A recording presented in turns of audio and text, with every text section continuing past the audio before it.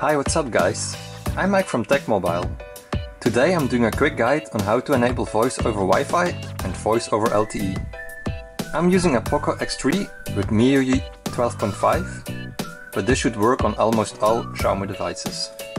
So let's get started and find out if your phone has voice over Wi-Fi or voice over LTE available by default. To do this, first open the settings menu by swiping down from the top and pressing this button. After that, go to SIM cards and mobile networks and press the provider button. If you can't see the option to enable voice over Wi-Fi or voice over LTE, as you can see here, it means we need to manually enable this. You can enable this by first opening your Dial app. So go back to your home screen and open the Dial app. And after that, open the Dial pad where you can enter a telephone number. And then we start by pressing hash, uh, no, star hash star hash and VOWIFI from voice over Wi-Fi. So V O W I F I and then again hash star hash and star. And you can see voice over Wi-Fi carrier check was disabled. And that's what we want. And now we can do the same thing for voice over LTE.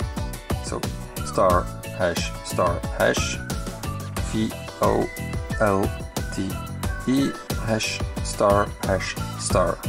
Voice over LTE carrier check was disabled.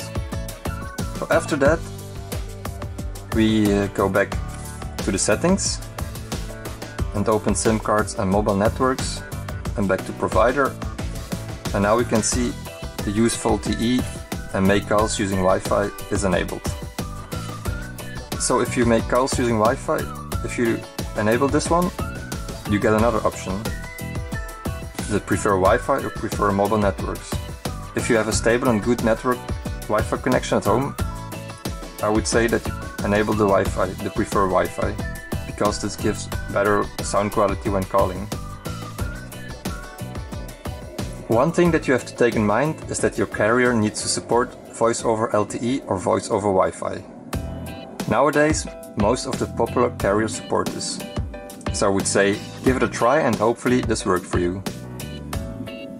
Please also give a like to my video and if you liked it, also subscribe to my channel so I can keep improving my content. Thanks for watching and see you next time.